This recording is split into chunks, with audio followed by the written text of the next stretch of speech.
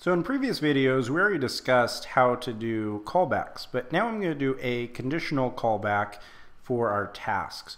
Now the flow of this, if you wanted to break it down on what this feature is going to do, is it's going to look at a task every time it's saved, and it's going to check to see if it has been completed, and if it has, then it's going to update the, uh, the count for our percent complete in the project that it belongs to. So I'll show you how to do this. I'm going to say after underscore save. And so this is going to work for both new tasks. So if you create a task, you mark it complete right away, it'll work for that. And it'll also work for the more common case, which is when you update a task uh, and say that it's completed. So I'm going to say after save, and I'm going to say update percent complete if mark completed. Okay, now here I'm going to create some methods. So I'm, one of them is going to be mark completed with the question mark. And then the other one, I'm just going to create as a placeholder here, is update percent complete. So this is the method that's going to get run after save if this comes back as true. So in Ruby, uh, methods can come back as true if they, or will come back as true if they're not nil and they're not false. So all we have to check here is to say self completed is set to true. So the only way this will come back true is if the self.completed, so this instance of task, is marked as completed.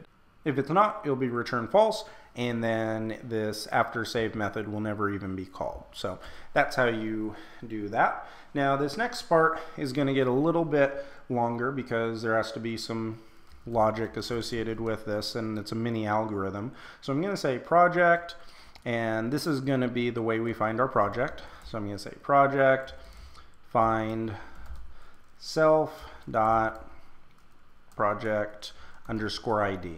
So this is a database query. It looks to see through the project table and it finds whatever project or whatever project that task is associated with. Okay, so that's finding the project and it's going to store it in a local variable. Now I'm going to create another variable I'm going to say count of completed tasks. And this is going to be equal to project dot tasks. So it's going to find all the tasks associated with this specific project completed count.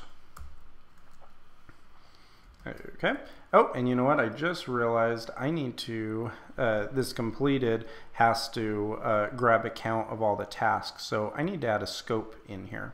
So up at the top here, I'm going to say scope completed and pass in a stabby lambda, that is what it's called, uh, and say where completed is true.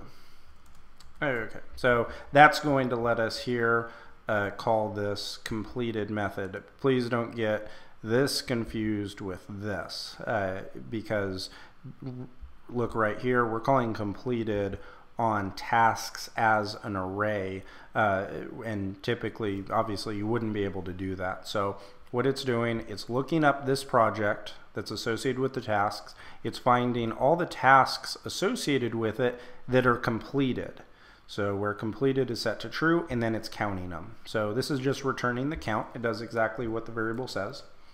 And then we want the count of total tasks. So this one is going to be project.tasks.count. And lastly, this is a cool thing because we're going to actually call that class, if you remember back a few videos ago, remember this counter class? We're actually going to be able to call that here. And so I can show you how that can be functional.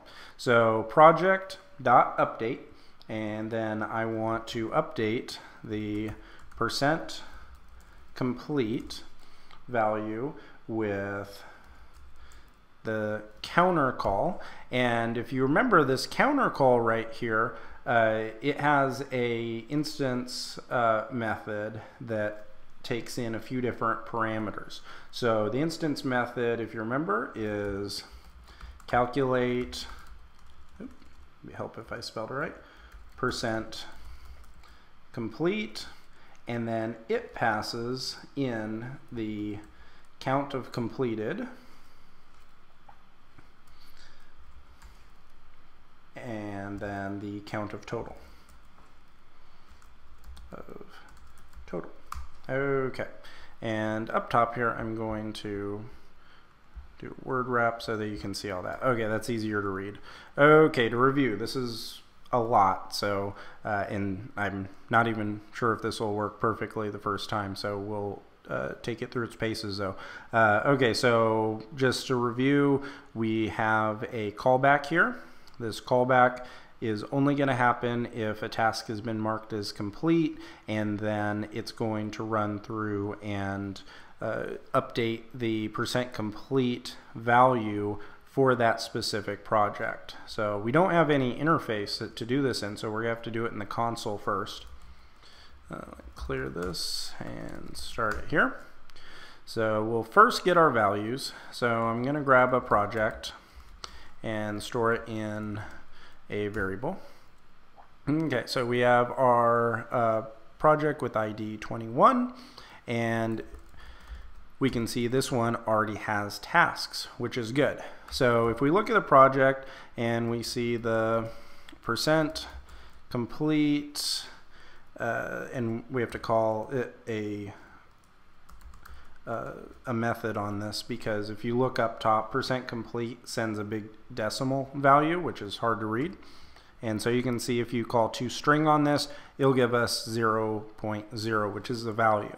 So to test out to see if what we did works, we know that task.last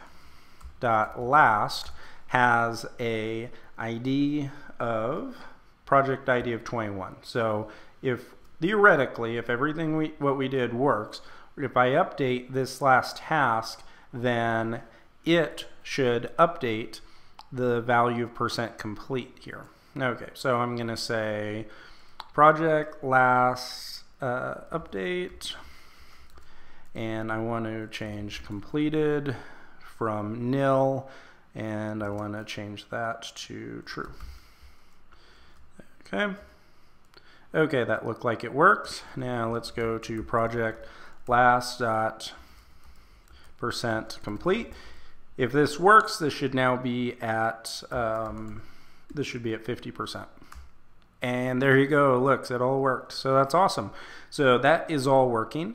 And uh, let's see if when we make an update, if it has the same effect. So I'm going to go here and uh, actually, yeah, I want to do a task. So I want to do task.last update and change it from uh, nil uh, or from true to false. So there and say completed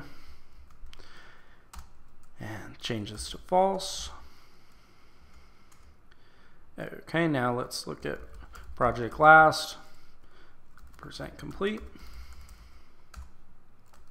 Nope, toString.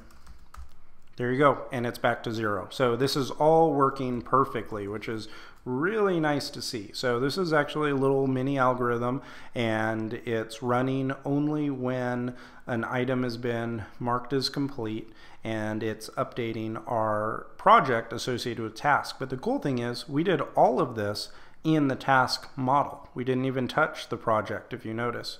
We didn't make any changes here.